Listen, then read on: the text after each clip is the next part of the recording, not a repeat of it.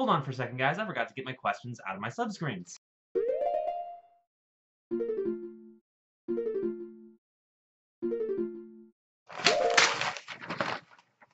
Well, hey there, guys. I'm Axle the Beast. This is the Curiosity Shop, the ZeldaDungeon.net video mailbag where I answer your Zelda questions. Alright, so our first question comes from Josh. Which do you like better, the Wind Waker or the Wind Waker HD? Alright, so I talked about this before, but it was so long ago that it might as well be in its own timeline. Um, uh, I know more about the Wind Waker HD than I do about Majora's Mask 3D because that was during my time. And uh, though I haven't played it yet, I'm, I'm very, familiar with some of the changes. So Eh, so, uh, this is a bit, maybe a bit of a controversial statement, but to me, The Wind Waker is the most flawed Zelda game. Uh, to such an extent that I think that its problems are substantial enough that band-aid fixing things like they did in The Wind Waker HD doesn't really solve the game's big problems. Yeah, okay, so you sail faster, but I don't think the overworld is that well put together to begin with, so getting to places faster helps, but it doesn't fix anything. Um, that said, while there are other Zelda games that, like the Wind Waker, I hold as less than other ones. Uh, there are very few that do anything so well that it elevates them at all. And Wind Waker, I think, has one thing, one specific thing, that it does so well that it's actually the best at it out of any Zelda game to date. And that, for me, is art direction. I'm not talking art style. It's not even my favorite art style in the series, but uh, just the way everything comes together, the art style, the graphics, the character designs, the music, the storyline, the way everything comes together into one big whole is, I think, the best like cohesive art direction to make the game feel like a cartoon and so many other things at the same time um, that I don't think any other game matches its ability to bring all those things together and make one like every artistic element of the game feels like it belongs with every other. And I don't think there's any other Zelda game that pulls it off to that extent. So, as much as you know, the Wind Waker HD's graphics are better, I don't think it matches the original in appearance just because of the things that they changed, the little things that they changed from what they did in the original, which might seem arbitrary, but in the original, everything went together perfectly, and it's aged great. It still looks good. I don't think the Wind Waker HD looks as good as the original, as weird as that sounds to say. Higher definition, absolutely. Um, you know, some things look better, but I think that the art direction was a little better in the original, just slightly, but enough. So I think I prefer the original. Is that is that the wrong is that the wrong opinion to have? Narian asks, what Zelda game has your favorite art style? All right, so there. well, I talk about what isn't my favorite art style. I guess we're gonna have to get to that. Um, so for me, I think it really is Skyward Sword, which is probably one of the things that contributes to how much I've enjoyed that game over the years. Um, you know, it's it brings back that kind of mesh of cartoony and uh, realistic that the original, which is more or less an anime look, uh, that was in Ocarina of Time and Majora's Mask, and which Twilight Princess technically had but did different things with.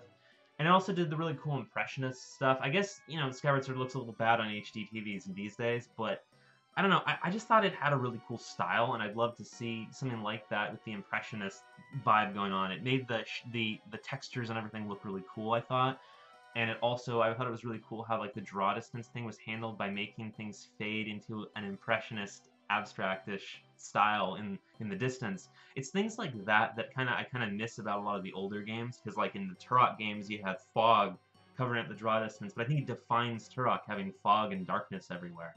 And I feel like Skyward Sword is actually really cool having that element, and I'd like to even see them do that in a game that has better graphics and doesn't need to do that to handle graphical issues. And I don't know. I, I really like Skyward Sword, but you know, Ocarina of Time, Majora's Mask, and their 3D counterparts would be like a close second, maybe possible sort of tie. But that's just me. How about you guys? Spirit asks, is Breath of the Wild set in a post-convergence era of the timeline? Alright, so I'm a bit fuzzy on this theory, I'll admit, but uh, the gist, as I understand it, is that because so many aspects of Breath of the Wild, um, you know, seem like they come from various games in the Zelda series, you know, the, way the Temple of Time looks, this and that, uh, and from different timelines in particular. It pulls things from so many different games that uh, maybe it takes place after like the timelines all merge together into one or something. But that doesn't really make sense unless you do a game that specifically tackles the idea of like mechanics of time travel and the timelines merging. And even then, it's not simple because uh, Twilight Princess's timeline, the, the child timeline, exists because of Link traveling back in time at the end of Ocarina of Time. So it's an actual split in the timeline canonically these two things both happened. However, the downfall timeline, where uh, Link uh, died defeating Ganon, uh, is a blatant alternate reality. It's not just two different timelines that split and are going parallel. It's a completely alternate re- reality based on a what if, not a thing we know happened. Um, so they can't even all merge in a way that even makes sense. And uh, even beyond that, you know, okay, so I don't think so. No, to give you a straight answer, finally, um, because but I'll admit that there, I used to be not in favor of the timeline split theory until I found out that it was confirmed by the developers around Twilight Princess, and then of course they went further and confirmed a third splitish timeline. So my word may not be good for much, but I'm not in favor of most theories that don't have a lot of basis in the games themselves. And I don't think having that many things from that many different games really counts because they do those because they are significant for a specific game. There are all kinds of inconsistencies with that stuff throughout the series. Um, you know, the Temple of Time isn't even in the Master Sword isn't even in the Temple of Time in the Wind Waker, which is the sequel to Ocarina of Time that most directly relies upon Ocarina of Time. Is in Hyrule Castle. Whereas in Twilight Princess, the Temple of Time is almost completely reproduced, even though it doesn't actually come off of the story of Ocarina of Time that much. I feel like Breath of the Wild has so many places just so it can have so many places, just to fill up the space and have the fan service up. Oh my god, that's Lake Floria from Skyward Sword! Which is literally my reaction when I got to the Faron region and found Lake Floria. Yigahim asks, do Four Swords, Four Swords Adventures, and Triforce Heroes deserve to be on the timeline, and why?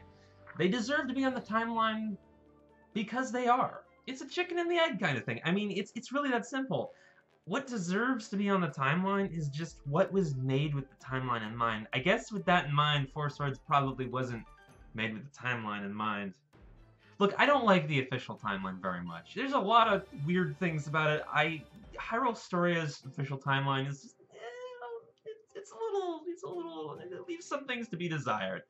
Um, I think they're inoffensive being on the timeline because they don't matter that much for it. Four Swords Adventures has some interesting implications because, according to Hyrule Historia, that's a completely new Ganon. Every other Ganon is some kind of like future version of the one from Ocarina of Time, I guess, kind of. That's actually a new one, just has the same name because I guess it's the Gerudo King name. Um, and that has interesting implications. There are other things too. The Triforce Heroes has some interesting implications on the timeline. I figure they deserve they deserve to be there as long as they don't damage things, like Hyrule Historia does. uh, but uh, as long as they're inoffensive or they add interesting ideas, sure, why not? Keanu asks, I've noticed that as more time passes, fans claim that they think Skyward Sword is one of the weaker games in the series now, despite the game receiving a lot of praise by critics and fans at the time of its release. Do you think now that almost seven years have passed, what are your thoughts on Skyward Sword? Do you still love it, or has your opinion also changed? So, uh, yeah, to, to get straight to the point this time, um, yeah, I, I still am a big fan of Skyward Sword. I haven't played it in a while, so, you know, maybe it'll change if I play it again, but, uh, no, no, I, I'm, I'm still a big fan of it. I actually still enjoy it, personally at least, better than A Link Between Worlds. Not judging it next to Breath of the Wild just yet, but, um, yeah, you know, um, this is one of the weird things for me being con for so long. Because, okay, pre-release, everyone was like, eh, it doesn't look that great. I mean, there's this weird split for some people who are really optimistic and then people who are, like, really skeptical. Then when the game came out, yeah, okay, so yeah, there was a lot of people praising it, but it actually had a fair amount of critics. And it seemed like a lot of people who really liked it on release, their opinions deteriorated as the game was out longer. That's what I noticed anyway. And then now, actually, despite what you say, I feel like I've seen a lot of people like, eh, it had some merits. You know, that, that seems to be like, it's people are calmed down about the game. I think that's what's happened. It's sort of interesting. But no, yeah, I'm still a big fan of it. It's a, it's a good game. I like it. Skyward Sword. It's, you know. Dualmark asks, do you think that there should be more female villains? Veran and Lady Maud are the only two. Twin and Cia don't really count for me due to the former being servants again while Veran was doing her own thing, and Hyrule Warriors is non-canon. Well, I don't know. I think that they add some to the series anyway. Um, with regards to uh, there being more female villains, you know, I, I don't you know like the Zelda series is very much based on the old fairy tale of the princess gets saved by the hero from the dragon or the evil wizard, and those are usually male characters, but they don't have to be. And the Zelda series has deviated from that a little stronger in some areas, like the sci-fi mech thing going on in Breath of the Wild. So you know, um, yeah, you know, I have no issue with it one way or the other. Just do what fits the game. Don't you know force something in there because you want to fit a demographic uh, unless you build the game around it correctly. And that's all I have to say. Don't just make what works for a game or make the game work for what you want to do in it. Oracle of Ages fan asks, I've enjoyed playing slash watching Mossies play fan-made Zelda games. What would you think of Nintendo releasing a Zelda game where you could design at least your own dungeons, if not a whole game? Um, so basically a Legend of Zelda Maker thing. You know, Mario Maker was weirdly popular, like excitingly so considering I love level editors, which should answer your question. Yes. Um, you know, I would love to play that. I would love to make stuff. I'd love to play other people's stuff. I had the idea once of an MMO with, you know, a Zelda MMO where you explore dungeons, but also there'd be an editor where players make and share their own dungeons. You don't need an MMO to do that, though. In fact, it might be better if you didn't. But bottom line is yes, yes, give me that, please. The True Red Link asks, would you like to see more familiar faces in the next Zelda title? Yeah, you know, sure. I mean, this is similar to the villain question. You know, do what works for the game. Some games try to have a lot of, you know, fan service. You know, Zelda has a lot of that kind of thing, you know, references to older titles. It's all very cool, and some games are particularly referential. Uh, Link Between Worlds and Majora's Mask are two odd examples, although they you you know they have different reasons. Like Majora's Mask particularly has a, a weird reason for all the recurring characters. Um, but you know, uh, some other games I think falter doing that. Like I think Twilight Princess had too much attention on Ocarina of Time, and I think a lot of the more recent games have tried, like Skyward Sword and uh, you know Breath of the Wild, have tried to get away from that, and they've created some really cool characters and a lot of fun moments that I'm a really big fan of. So you know, just do what works for the game. Don't try to include characters or get away from characters for its own sake. Do, you know, what works. Eh. All right, the last question comes from Hylian Evan.